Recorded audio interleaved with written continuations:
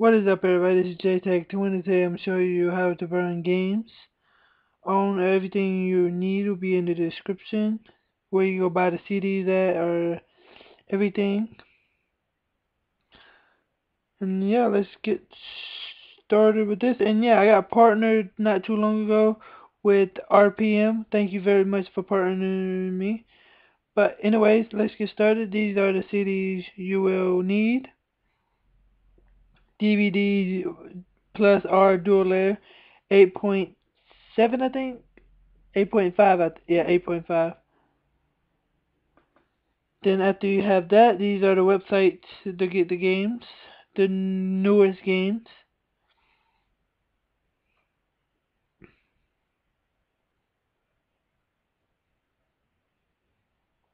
Here goes another website too.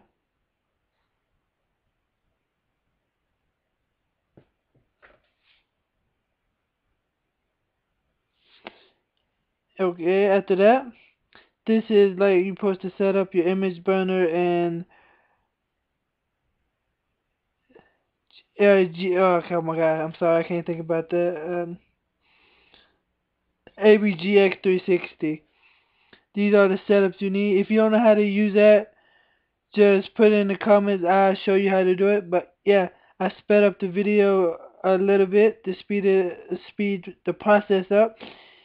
If you miss anything, just pause it. If you have any questions, just feel free to ask me. As you can see, I have so many games. I'm finna download basketball.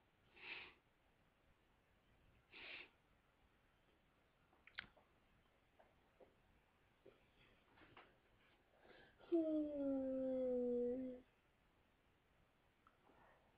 I'm just trying to find the basketball game. Just click it, just right there. When you click burn, if this pops up, click the first one, okay, and hit yes, and it should go all the way. If that gets done, just hit cancel. If it gets to 97, hit just hit cancel, then hit yes. Then hit yes, there you go. And after that, and it should work. Now, after all this has get done, I'm sure the game actually works. Please rate, comment, and subscribe. See you guys later. Peace out.